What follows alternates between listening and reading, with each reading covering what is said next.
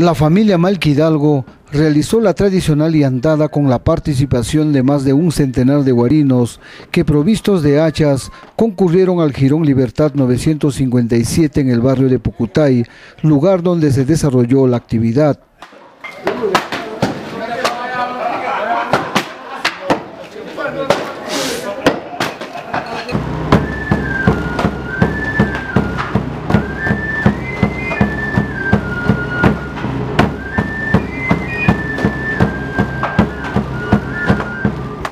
La gran faena inició al ritmo de la caja y el pincuyo, que interpretó contagiantes melodías que levantaron el ánimo de los expertos hecheros, que hicieron volar en rajas los resistentes troncos del fornido eucalipto.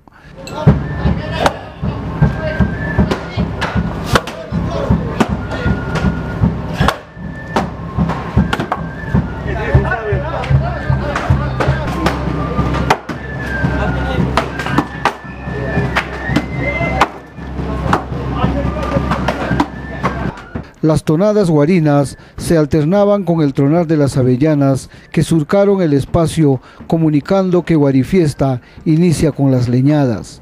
En cada descanso, los bizarros del hacha recargaban energías con la espumante y tonificante chicha de jora preparado por tía Alcira, servido por los miembros de la familia Malquidalgo. Como se acostumbra al mediodía, se sirvió el clásico almuerzo, que fue compartido por los participantes de esta tradicional diantada, costumbre de antaño, legado sagrado, cultura viva de los guarinos, de los devotos de la Virgen y amantes de la tierra.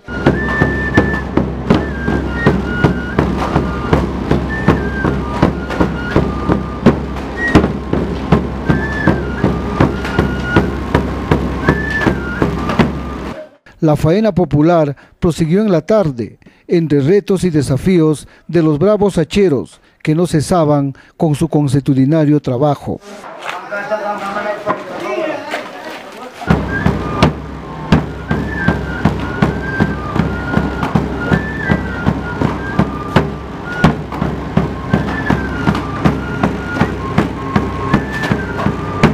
La familia Malqui Hidalgo y en especial el señor Vladimir Malqui y la señora Aida Cencios, capitanes de la segunda tarde taurina, agradecen a los generosos guarinos que participaron en esta costumbrista llantada.